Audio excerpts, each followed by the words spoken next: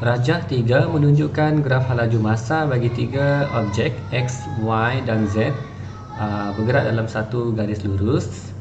Jadi soalannya adalah uh, manakah antara pernyataan berikut adalah benar tentang objek X, Y dan Z. Kita tengok pilihan jawapan A, B, C, D. Uh, A dahulu, objek Y dalam keadaan pegun. Pegun maksudnya tidak bergerak. Kalau kita tengok Y di sini, Okey, Y mempunyai halaju sebanyak 30.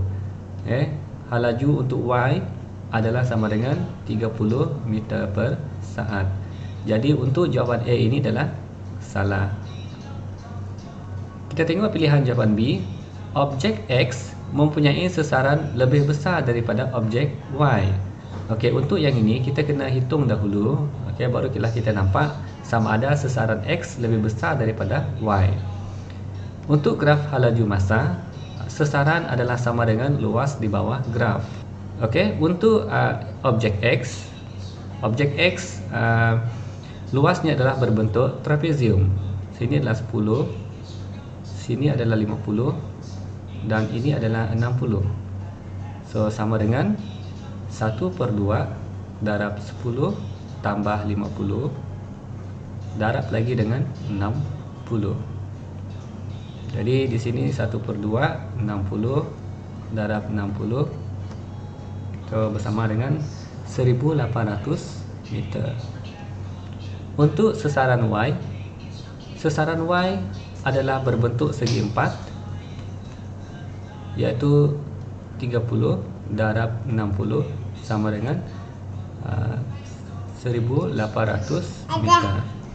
Untuk pilihan C, objek X mempunyai sesaran yang lebih besar daripada Z. Jadi kita kena hitung berapa sesaran untuk Z. So sama juga untuk Z uh, sama dengan di luar uh, sesaran sama dengan luas di bawah graf iaitu dia adalah berbentuk trapezium 1 per 2 uh, panjang yang selari adalah 30 tambah 60 darab lagi dengan 50 tinggi trapezium so 1 per 2 90 darab 50 so ini adalah bersamaan dengan 45 darab 50 ok so yang ini adalah bersamaan dengan 2250 meter.